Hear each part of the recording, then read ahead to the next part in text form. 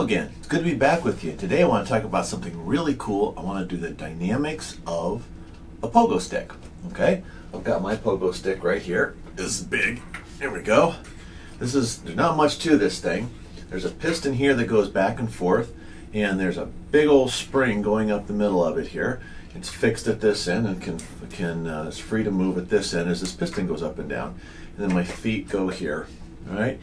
Um, the parkour people, you know, these folks that run around and climb buildings and walls and things like that, have discovered pogo sticks.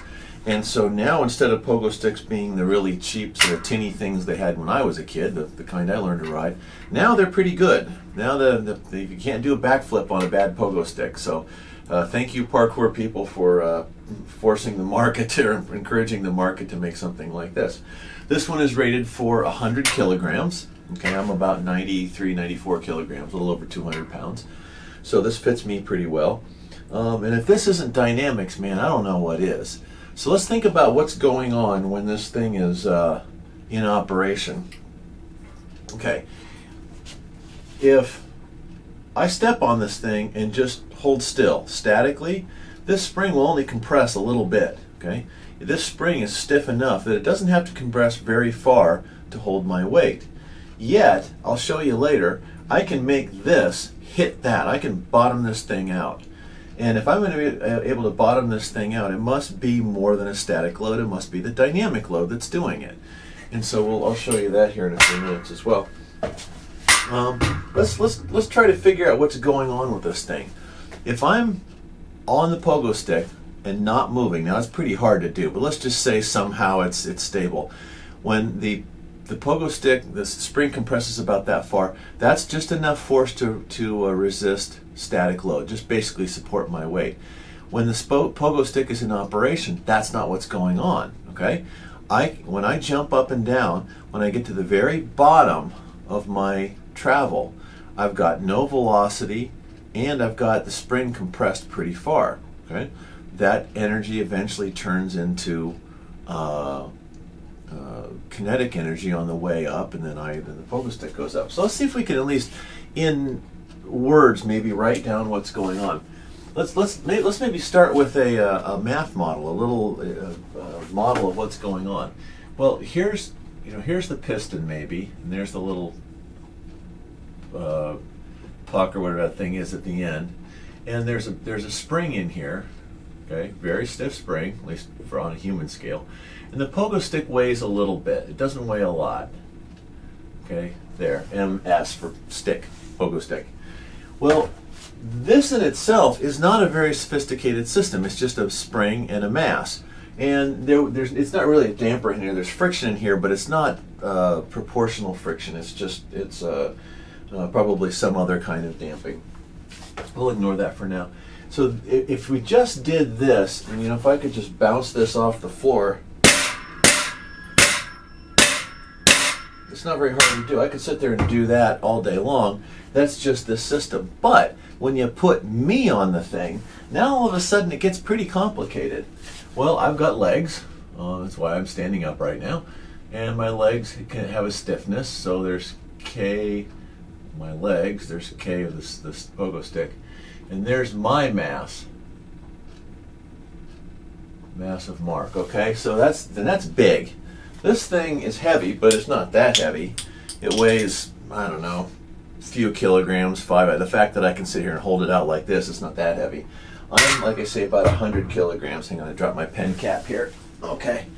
Um, this is around 95 kilograms. This is about, I don't know, I guess about five kilograms, so it's small. Okay, now, I don't know what the stiffness of my legs is, but my, my legs aren't just a spring, they can generate a force too. And so I can accelerate myself upwards. There's a force in there that by accelerating myself upwards, the, the reaction force is pushing down on the pogo stick. So this is actually a fairly complicated system to try to uh, to analyze those. So let's, in, in words, let's see what's going on. So at the bottom,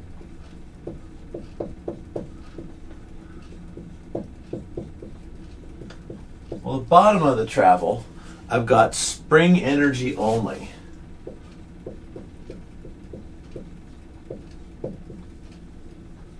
Okay, I've got spring energy.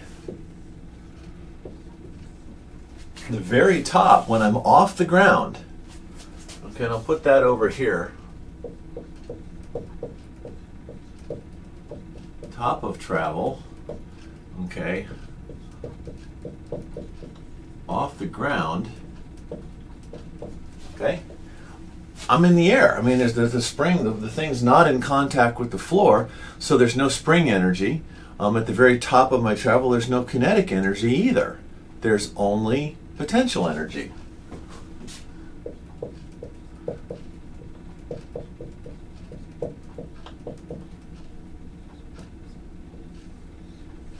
Okay, so put that in there. I'll get out of the way so you can see it.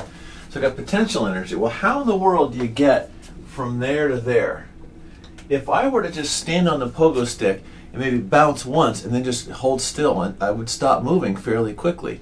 In order for this to become a system that not only goes that way but then comes back again, something else has to go on, okay? Okay?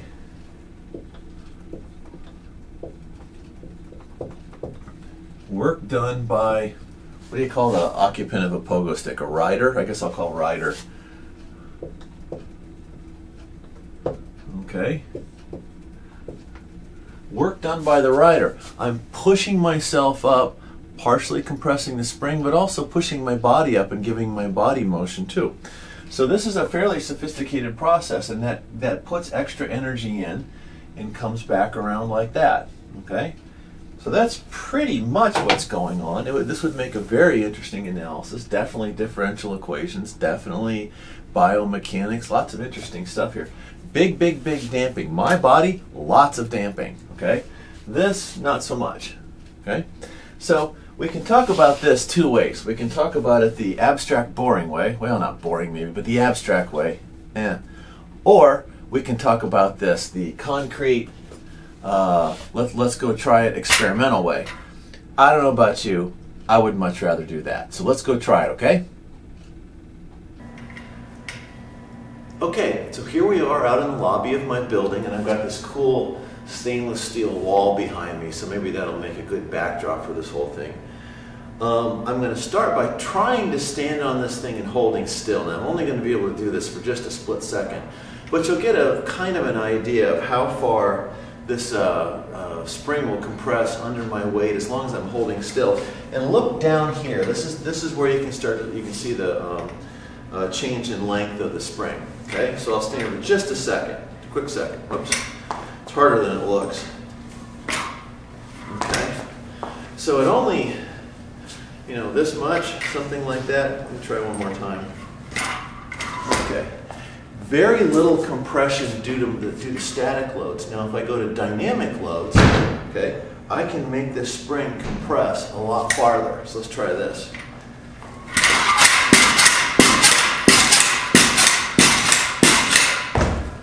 Okay, let me try one more time.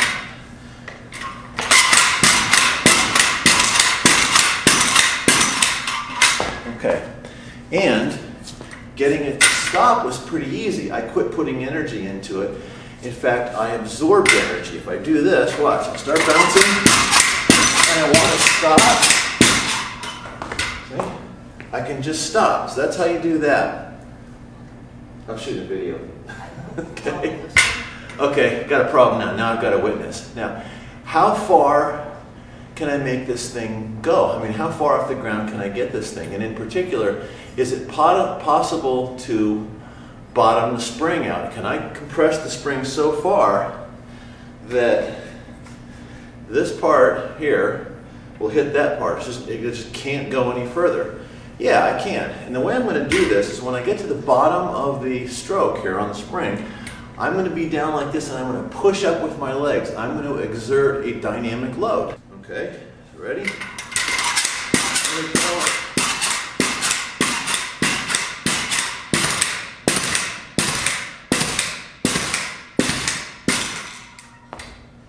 Okay, I kind of turned sideways there.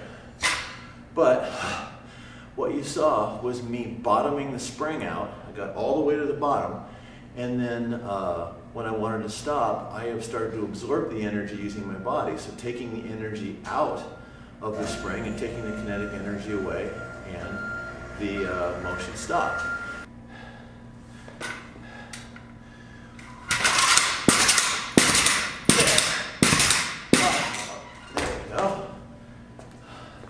So there you go.